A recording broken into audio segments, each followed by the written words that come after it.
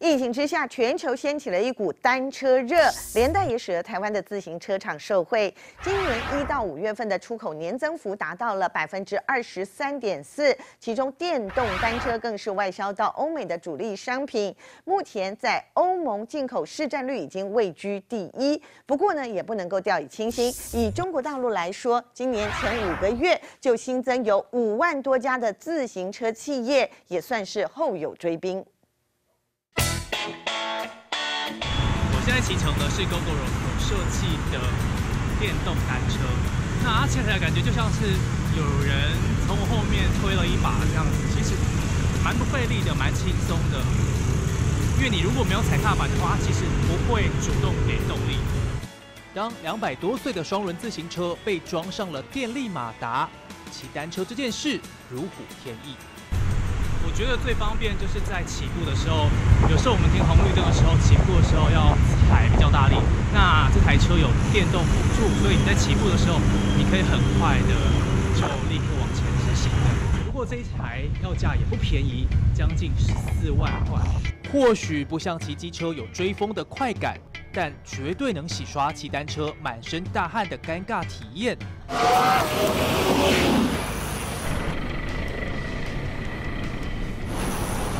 流线外形结合时尚科技感，轻量化设计，一天扛起也没问题。这辆电单车七月刚上市，至今已卖破百辆。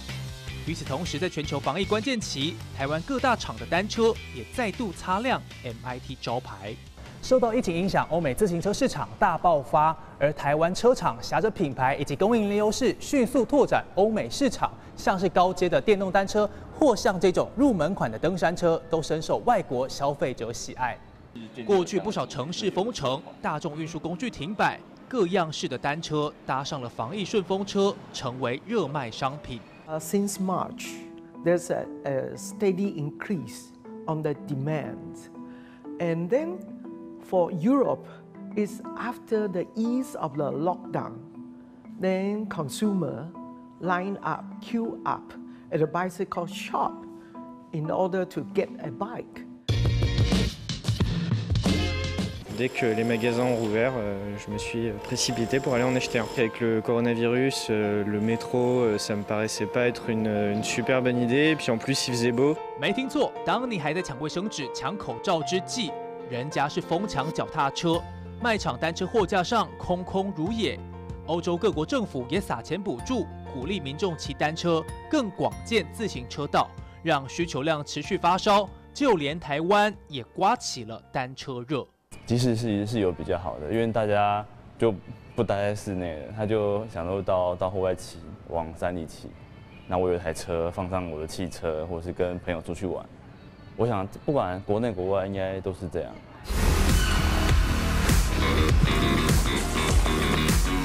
那国外，因为他们骑车风气跟文化跟我们不太一样，所以他们的重车反而卖得很好。那美达出很多款这类型的 mountain bike，主要主力都还是在外销，在欧美。台湾曾经有自行车王国的美名，摊开经济部数据发现，从二零一六年开始，整体自行车产值开始衰退。直到二零一八年，美国及欧盟对中国大陆实施关税保护，台厂自行车积极创新，加上电单车市场崛起，二零一九年产值达到六百四十九点九亿，创下历史新高。为了满足亚洲代工车厂以及组装厂的需求，德国博士集团旗下的 eBike System 亚太总部选在台中落脚，也凸显台湾对整个自行车市场的重要地位。德国博士 eBike 系统被称为电单车的心脏，结合马达、电池与智慧助理的电机系统。过去欧洲电单车大厂多半与 Bosch 合作，美利达也曾经是合作伙伴。如今看好台中有完备的自行车产业聚落，更瞄准未来亚太区庞大的电单车市场。就连巨大集团也在台中新建全球第一座单车文化探索馆。展示未来单车有更多可能。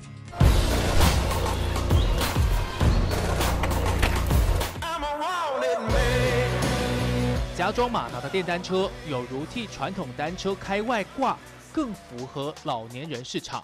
过去一般自行车与电动自行车的产值比重从百分之九十七点三比百分之二点七，近年来电单车快速爬升，到了今年一到四月，已占百分之四十六点四。在传统自行车发展到高峰之际，电单车异军突起，可预期将蚕食大半市场。因为车子很重嘛，那我今天如果我要上坡，势必得靠我自己的力量。那我今天如果有电的辅助，我可以骑得更高更远。那对一些年纪比较大的，他其实可以骑得更远，然后更轻松，然后有达到运动的效果。以国内市场还是还是少，但是已经一直在成长，因为它价格太高了。虽然电单车在台湾市场份额不大，但以欧盟数据来看，台场电单车市占率一百零七年仅约三成，但到了今年超过六成，排名第一，将大陆、香港、越南、瑞士等地生产的电单车远远抛在市场之后。台湾单车产业能再有辉煌时期吗？专家看好电单车将是台场逆转的秘密武器，更是未来趋势。TVB 新闻，学校林更贤台北、台中报道。